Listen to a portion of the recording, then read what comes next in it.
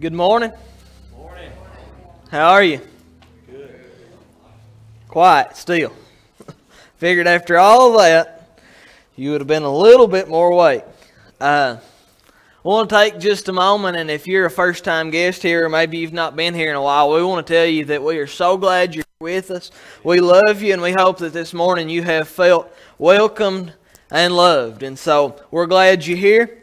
And uh, if you wasn't here last week, uh, we're in this uh, series of messages called The Chain Breaker. And uh, if you wasn't here last week and you want to hear last week's message, you can go to the church's Facebook page or you can uh, get on YouTube and search Bond Baptist Church. And uh, it's on there and you can watch it and uh, you can keep up with the series that way. And what we learned last week is that we all have some baggage. We all have some things in our life that we wish we didn't have. Uh, maybe those are addictions, maybe they're regrets, maybe it's shame. Um, but we all have some chains, and uh, ultimately, we all want to get rid of our chains. And um, that's what this series is all about. We are on a journey uh, to a place called freedom. And last week, we uh, found out that uh, we all have a problem that we cannot fix. And uh, if you were here last week, then probably sometime this week, you bumped into that thing in your life, whether it's regret or shame or addiction. And uh, when you bumped into that, you were supposed to say, I have a problem that I cannot fix on my own. And I hope that you done that this week. Um, but as we continue our, our journey to freedom this morning, uh, I want us to go to John chapter 5 if you have your Bible or a mobile device on it. Um, if you don't have your Bible, there is a uh, gold Bible in the back of your pew, uh, probably, hopefully. And uh, if you don't have a Bible, uh, you are welcome to that Bible. That's yours, and you can take it home. And uh, if you pick up that gold Bible, we're in page 1014. So 1014. But before we get into it, let's pray one more time. How about that? God, we uh, we come to you this morning, and God, we are believing for freedom today. God, we are believing that chains will be broken, that people will be set free, and that today will be a life change for somebody. God, I, I pray that we wouldn't leave this place the way we came in, but God, that today would be different for us. God, that today uh, we could encounter you in a new and a real way. God, we love you so much, and it's through your Son Jesus we pray. Amen. All right. So, uh, last week we were in John chapter 4, uh, talking about the woman uh, in Samaria at the well. And this week we're going to be in John chapter 5. And I want to give you a little bit of background before we move forward uh, into the text. Um, we, we find Jesus and his disciples. He's got these 12 young guys, uh, about 18, 19 years old, we think, and they're running around with him and learning how to do life with Jesus. And uh, Jesus sometimes takes them into some uncomfortable places, he sometimes takes them into some um, hard situations. And uh, that's where we found them last week. And um, now Jesus has left Galilee and has come to Jerusalem to celebrate a Jewish feast. And uh, they enter uh, Jerusalem at this place called the Sheep Gate, and the Sheep Gate was where uh, the sheep would come through when it was Passover time, when they were about to do their religious sacrifices. And so all the sheep would pass through this gate going towards the temple and uh, is in the northwest corner of Israel. And next to this gate, there's this uh, large pool, and we know it is the pool of Bethesda. Uh, this pool had five huge porches around it, um, and it was called the Pool of Bethesda. And uh, the rumor about this pool was that an angel would come down occasionally and stir in the pool, and the first one in got healed. And uh, what we know now is that uh, it wasn't actually an angel coming and stirring it. Uh, that was a wives' tale of the day, and it was actually a hot spring that would boil up every now and then, and um, and when people would get in it, it would help their bodies and they would feel like they were healed. So there, these people thought that this pool would heal them if they could get in it. And uh, so as a result of that, there were people at this pool all the time. And some people lived at this pool, some people stayed at this pool all the time, just waiting on the water to stir up so that they could have their chance to be healed. These people, some of them were blind, some of them were paralyzed, some of them couldn't walk. And uh, they all just waited around this pool, waiting on the water to stir so that they could be healed. And we don't really know how many people were at the pool this particular day. We could imagine that there was a lot of them. And uh, just if somebody said that if you got an anvil pool and uh, you could get healed, then there would be people lined up waiting to get in Anvil Pool, wouldn't they? And it's the same thing today. And we find Jesus walking into this, this pool, this area, this uh, pool of Bethesda. And when they walk in, him and his disciples, they see all these sick people. And uh, let's just say that there were 500 people. I don't know how many people were there, but let's just say this day there were 500 people. You would expect that when Jesus walked into an area with 500 sick people, that when Jesus left, there would be 500 well people. 500 people would have been healed, but you see, Jesus rarely does what we expect him to do. So we have expectations on Jesus, and sometimes the reason we get disappointed in the faith is because we have expectations on Jesus, but Jesus rarely does what we expect him to do. And so Jesus and his disciples, he, they walk in under these huge porches, and Jesus walks by 499 sick people to this one particular man. And we don't know a lot about this man. We don't even know what was wrong with him. He could have been blind. He could have been lame. He could have been paralyzed. We don't know. But Jesus could have literally been stepping over sick people to get to this one man. That's not an image we have oftentimes of Jesus, but could I tell you this morning that Jesus is not fair? So everybody doesn't get the same treatment with Jesus.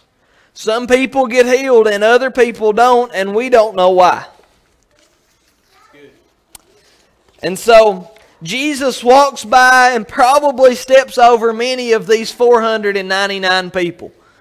And he walks up to this man, and all that we know about this man is that he has had his condition for 38 years. 38 years. That's a long time. To have this condition, to have this health problem. And we don't know how long this man has sat by this pool, but it's very likely that he may have sat by this pool his entire time that he had this condition. So he may have very well been there 38 years. And so think about sitting by the same pool day in and day out for 38 years. And he had this expectation that one day, I, I, I can just see him and he's dreaming that one day I'm going to be laying by the pool and that water's going to stir and I'm going to be the first to get in, and I'm finally going to get my healing.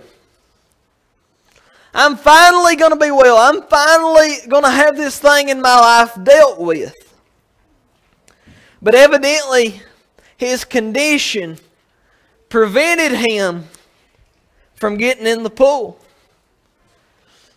And so I don't know how many people he saw walk away from there healed. But you know that he had led, led a disappointing life. That every time the water stirred, he thought it was his time. He tried to get in and just couldn't seem to get there. He tried every human way possible to get in that water so that he could finally be healed. And I don't know how many times he was second place, but I could imagine that there was a few times when he was close.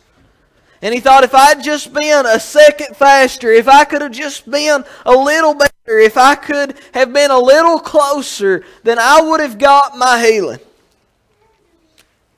And this man laid there day by day on his mat, feeling bad for himself I'm sure some days he just felt like giving up. He felt like I'm never going to have this thing in my life dealt with. I'm going to lay by this pool for the rest of my life. So he would day in and day out. I don't know how often this pool stirred up, but he would lay by this pool dreaming of the day that would be his day.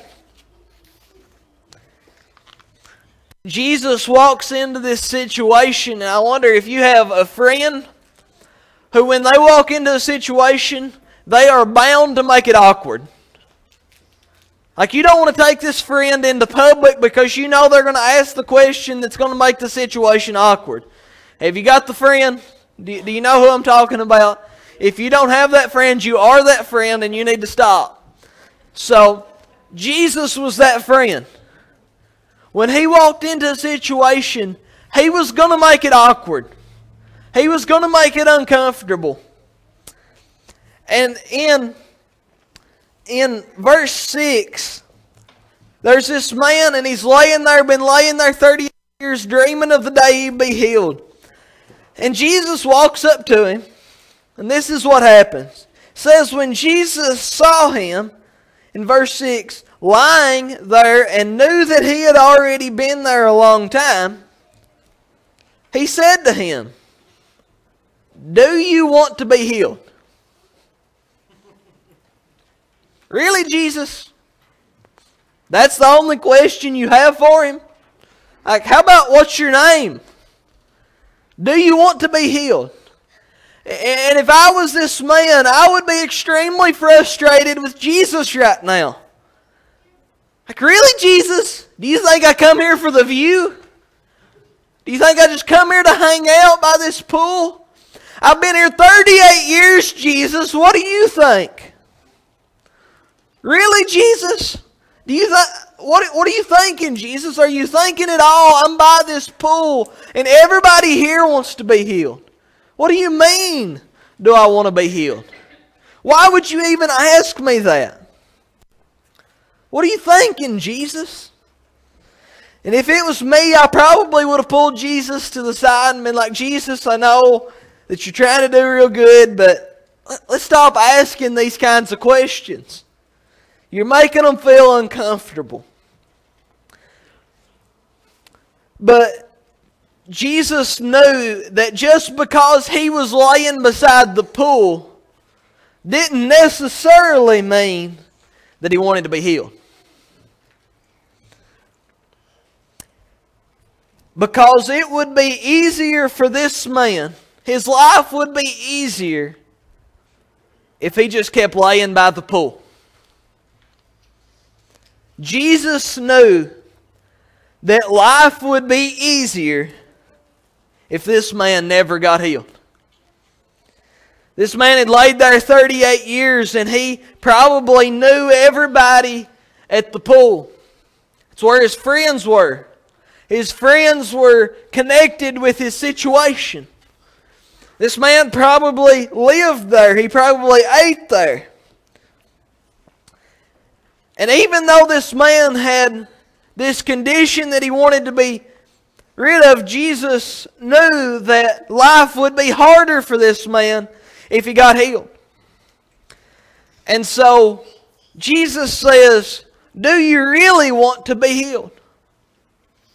Do you really want to be well? I think Jesus was saying, Are you sure about this? Are you sure you want to be healed?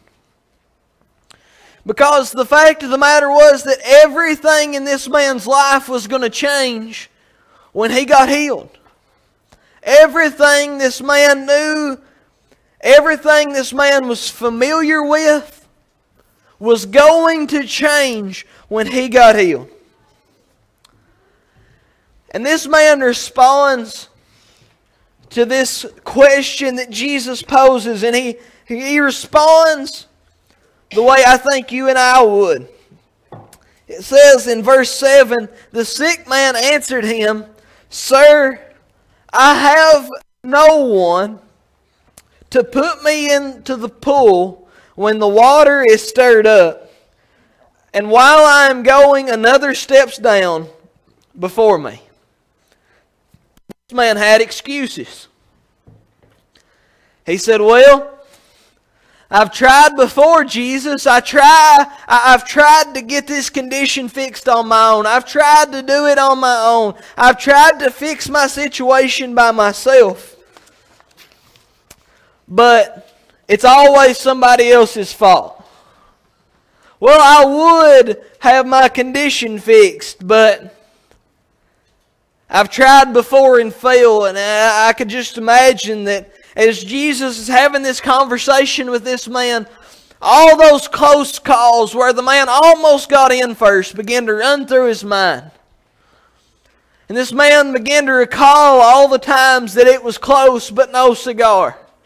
Where, where maybe the other person's foot hit just a second before his did.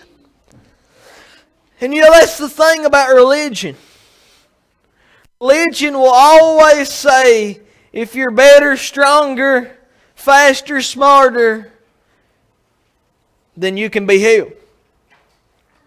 But this man provided stories and excuses. He said, Jesus, I would, but I've tried every way. I've tried everything that I could do to get healed, but I can't seem to get healed. It must just not be meant for me to get healed. And then Jesus looks at him and he says, Get up, take your mat, and go home. And so today, probably, you have a story just like this man's. So maybe you've not been laying by the pool with your condition. Maybe your condition is not paralysis. Maybe your condition is not being blind, but maybe your condition is an addiction. Maybe it's an addiction to drugs, or maybe it's an addiction to alcohol, or to pornography, or to sex, or to food, or to other people's approval. Maybe it's fear, or maybe it's shame, maybe it's regret, but we all have a condition. We all have problems in our life. We all have baggage. We all have chains. Right? We all have things in our life that disgust us that we wish we could stop, but we just can't seem to stop. And we've tried all the things, we've tried all the tricks, we've done everything that we could do. We've bought self help books, we've uh, paid for plans, We've got friends and told them about it. We've tried everything in the world to shed this baggage, but we can't seem to do it. We've tried classes and we've tried counseling. We've exhausted every single possibility, and we've come to the place where we think maybe it's just not meant for me to be free. Maybe, maybe it's just not meant for me to get healed. Maybe it's just not meant for me to be free from this thing. And Jesus asks, asks us today that same hard question that he asked that man that day. Do you want to be well? I'm not asking, are you sick of your problem? I'm not asking if you're tired of being sick. My question for you today is do you want to be well? Really? Do you want to be well? You may feel like the answer's obvious today, just like that man did. Are you joking, Jesus? Of course I want to be well. I've dealt with this for five years. I've dealt with this for ten years. I've tried every trick in the book, Jesus. Of course I want to be well. But the thing about our chains, the thing about our addictions, our conditions is some of us have had them so long they've become like family. You despise them, but you can't imagine life without them.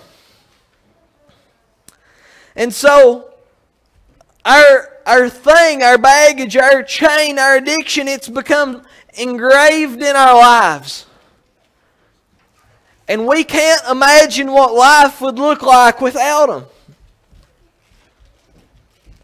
And so, are you willing to do life without that thing? Are you willing to leave your friends like this man did? Change the way you live? Because this man experienced this, and you will too if you decide that you want to be well. When you say, Yes, I want to be well, everything will begin to change. Your whole life will look differently when you experience the freedom that Jesus is offering you today. Jesus, I think more than asking the question, do you want to be healed? I think that Jesus was asking, are, are you willing to deal with what happens when you get healed? Are you willing to maybe lose your friends? Are you willing to lose your way of life? Are you willing to be shaken to the core? Are you sure you want to be healed? Are you sure you want to be healed? You may say this morning, we all have our excuses. You may say, I've tried everything. I know that I can't be free. You may say this morning, I made those wrong choices. I done those things and I deserve that regret. And if you're real spiritual this morning, you may say, that's just my cross to carry. I don't think so. You may say, nobody in my family could get free of this thing. And so I guess I'll just have to deal with it till I die. You've given up like this man did. You've given up on God's ability to set you free. Maybe the doctor told you it was untreatable, and you just settled for that. You just said, well, if the doctor said it was untreatable, then it must be untreatable, and I'll just have to deal with that thing until I die. But I have better news than that this morning. It doesn't matter what your excuse is this morning. It doesn't matter what your condition is this morning. It doesn't matter how long you've had the condition. It don't matter how long you've been addicted. It doesn't matter how many times you've tried before and failed. It doesn't matter how many times you fell on your face this morning. It doesn't matter how hopeless and desperate your situation may look. There is a man named Jesus who can come into your situation, and when he comes in, everything will begin to change. Everything will begin to change. Your situation will look different when Jesus enters that situation.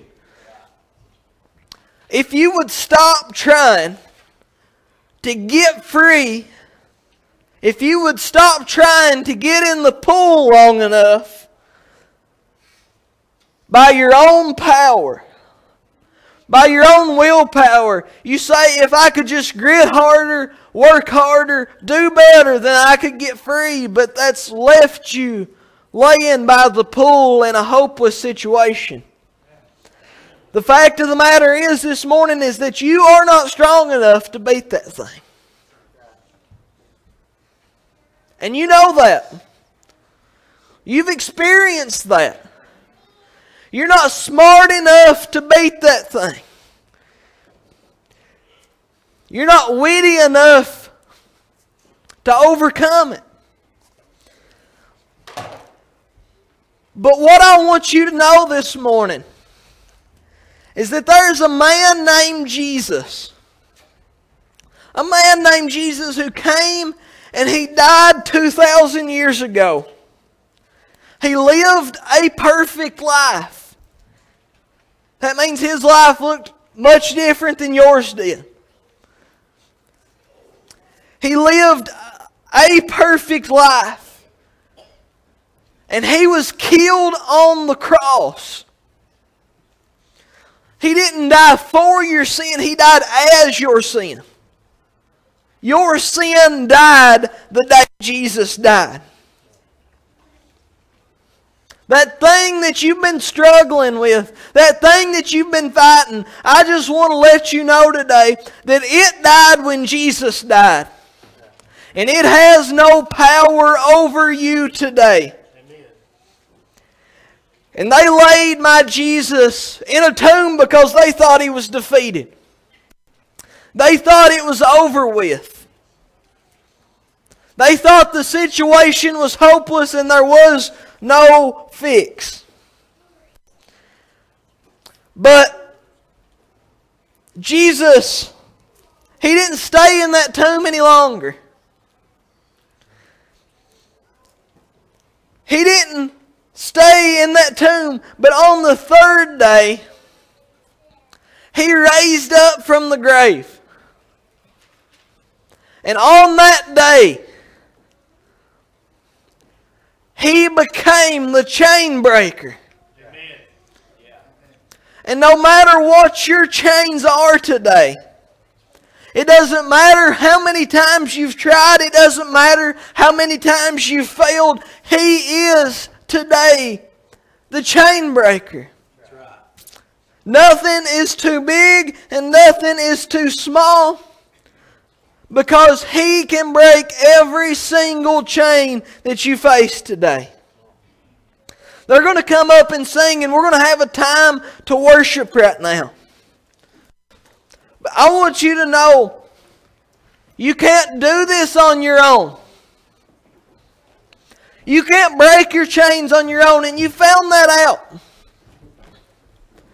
You found out that every time you tried to get into the pool, every time that you tried to fix it on your own, every time you tried to make things right, you just fell on your face, didn't you? You might have you might have beat it for a week. You might have uh, fixed it for two months. You might have done all right for a month or, or, or for six months or for a year. But ultimately you found that those chains might have been loosened, but they wasn't broken. And so today, I believe that Jesus is going to set the captive free. I believe that He's bringing the dead back to life. And I believe that He's going to bring some victory into your situation today.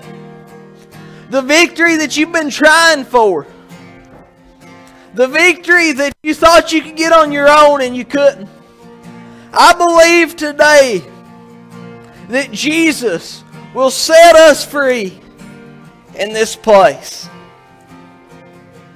Let me pray for us. God, we love you today. And God, we realize that we cannot do this on our own.